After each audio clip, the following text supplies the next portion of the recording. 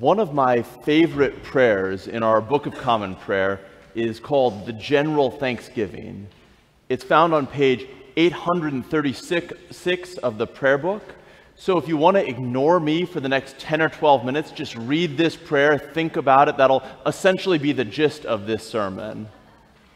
But one of my favorite parts of this prayer is when we say, We thank you, God, for setting us at tasks which demand our best efforts and for leading us to accomplishments which satisfy and delight us.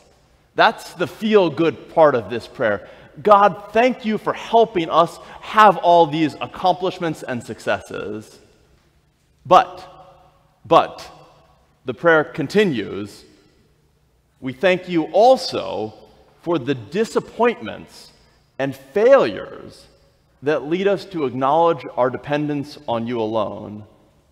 In other words, God, thanks for the times things go wrong. That's a tougher prayer to offer.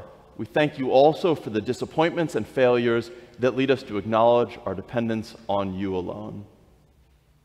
What this prayer is really acknowledging is that there can be a danger to uninterrupted success. Achievement and success and accomplishments can lead to pride. And that's exactly what we read about in the Old Testament passage today the story of Absalom and his fatal flaw, his pride. Absalom was one of King David's sons. He was known for his exceptional charm and for his good looks, especially, frankly, for his long, luscious, flowing hair. Absalom was sort of a combination of Prince William, after all, he was a prince, and Fabio. For those of you who are unaware, Fabio was an Italian actor slash model with this same long flowing hair. If you've ever walked by a bookstore and looked at the romance section and wondered, who is this same model who's on the cover of every book? And on this book, he may be in a sailboat on this book, he may be on a beach with a sunset in the background, but in every one, he's got this long flowing hair. The answer, that's Fabio, again and again. You see, Fabio and Absalom apparently had the same hair care routine or hair products. But for Absalom, his long flowing hair became sort of his calling card. He was known for it, he was recognized by it, and he was very, very proud of his hair. Unfortunately, pride is not a sin that was only around in the Old Testament. Pride still shows up in the world today. We don't have to look very far to see it around us. In 1984, Elizabeth Holmes was born. As a child, she had an interest in technology and science. As a teenager in Houston, she was known for her drive and her ambition. And then she went to Stanford, where she, studied, where she studied chemical engineering. And even among this group of super high achievers, Elizabeth Holmes was a standout.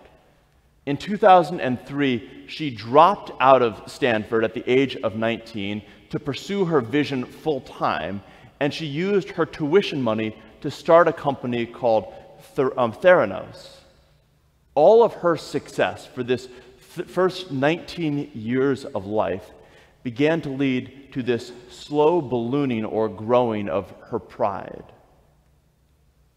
In his book, Mere Christianity, C.S. Lewis wrote According to Christian teachers, the essential vice, the utmost evil, is pride. Unchastity, anger, greed, drunkenness, and all of that are mere flea bites in comparison. It was through pride that the devil became the devil. Pride leads to every other vice. C.S. Lewis continues Pride is competitive by its very nature. Pride gets no pleasure out of having something, only out of having more of it than the next person. We say that we're proud of being rich or clever or good looking, but this isn't really true. We are proud of being richer or cleverer or better looking than others. If everyone else became equally rich or clever or good looking, there wouldn't be anything to be proud of. It is the comparison that makes you proud, the pleasure of being above those around you.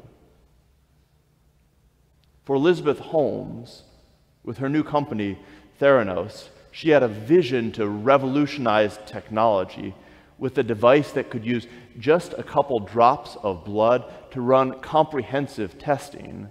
There was so much optimism and excitement. Holmes secured over $700 million from investors for her company. Her board of directors was sort of the who's who of the who's who, including Henry Kissinger and George Shultz, former secretaries of state, and James Mattis and William Perry, former secretaries of defense. She started partnerships with companies like Walgreens. Soon, Theranos was valued at over 9 billion, that's billion with a B, dollars. Elizabeth Holmes was cast as a visionary, becoming one of the youngest self made billionaires in the world. And all of this success led to her pride growing and growing and growing. You see, the danger for so many of us is we, come, we, we become so proud of something, we become so proud that we're willing to sacrifice anything. This pride becomes all consuming. Elizabeth Holmes was so proud of her success that she lost sight of the good that she had wanted to do when she first started out. She was so proud of her success that she was willing to sacrifice whatever it took to continue to achieve and maintain this success. It was later revealed that Elizabeth began to bend some rules. She began to hide facts from regulators. She began to stretch the truth. Her ambition, her pride, overtook all her values and principles. And frankly, that's similar to what happened to Absalom. Absalom was handsome and powerful, charismatic, and a good politician. And as he became more and more successful, he also became more and more proud of his successes. He moved out of Jerusalem to the cool hill country of Hebron, where he was also outside the, the close, watchful eye of his father. Being a good politician, Absalom won the hearts and the minds of the Israelites. Absalom's pride and ambition began to grow. You see, his pride wasn't just a state of mind, his pride began to drive his actions, his decisions, and how he interacted with others. He sought more power through cunning and manipulation. Eventually, he declared himself the king of Hebron, he rebelled against his father and he, he threw his country into a civil war. His pride began to drive his actions. For Elizabeth Holmes, her pride also began to direct the actions she took. She had set lofty goals for Theranos but she soon realized they weren't being achieved at the rate that she wanted. So she started to exaggerate the capabilities of her company's blood testing technology, publicly claiming that Theranos devices could run comprehensive tests with just a few drops of blood. Claims that it turns out were completely untrue. You see, with both Absalom and with Elizabeth Holmes, pride quickly became more than just a state of mind. Pride began to drive how they interacted with the world. And we're all subject to that danger. Pride can become an action verb in any of our lives. And generally, pride doesn't lead to good actions. So we should start by being aware of where we are each individually susceptible to become prideful. What are the things that you are so proudful of or so, so proud of that you might be willing to sacrifice your values or your principles or your morals? Where does pride come up in your life? What are you most proud of?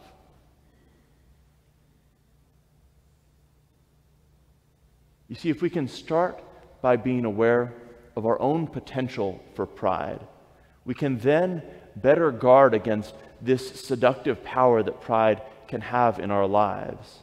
After all, pride often sneaks into our lives in slow and subtle and, and incremental ways.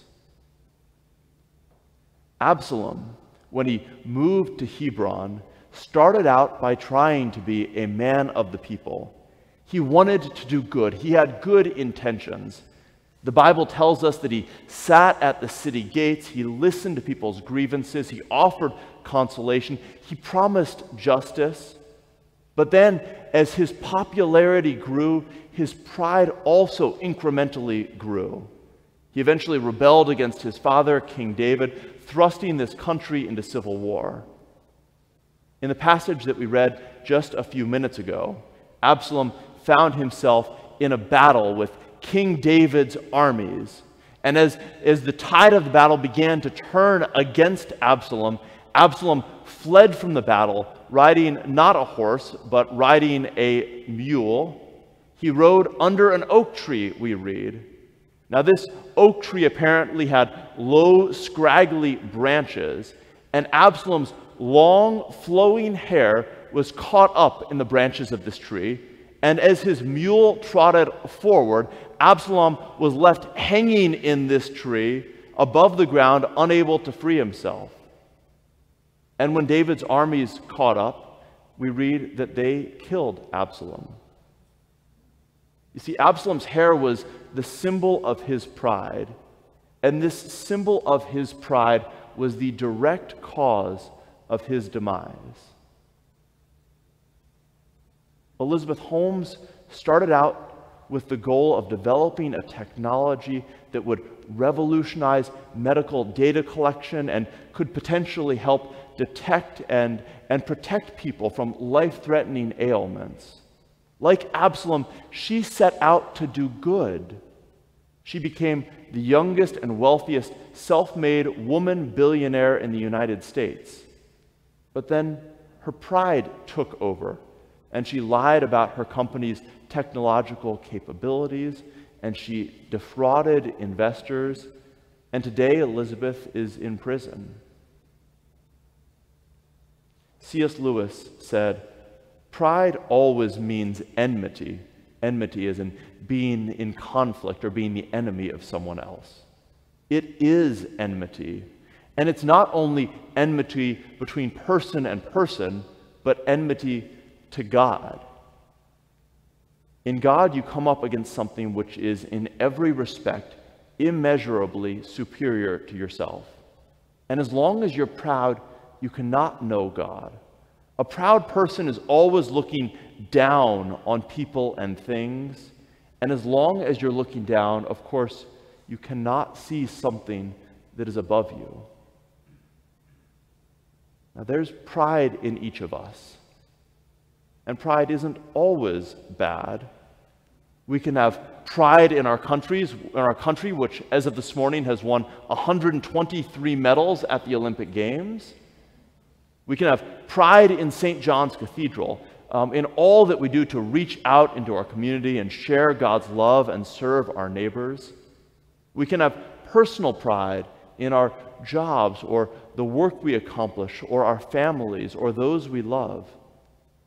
However, we find ourselves on particularly shaky ground if we let our pride become our motivation for our actions and our decisions, and if we find that our pride is driving how we interact with those around us. So it's good. It's good even to have moments in our life when we have disappointments or when we have failures or when we realize that we can't or shouldn't totally rely on our own pride and our own accomplishments. With that in mind, I'm going to ask you to do something different this morning. I'm going to ask you to take out your prayer book. It's the red book found in the pew back in front of you. And turn to page 836. page 836.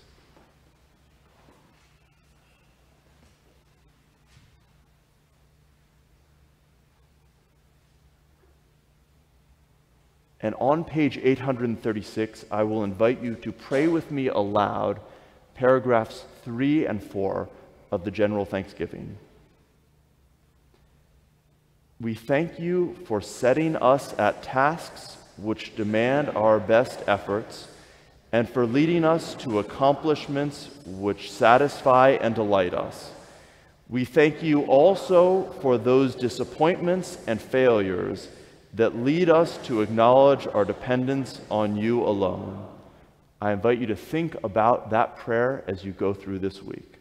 We thank you also for those disappointments and failures that lead us to acknowledge our dependence on you alone. Amen.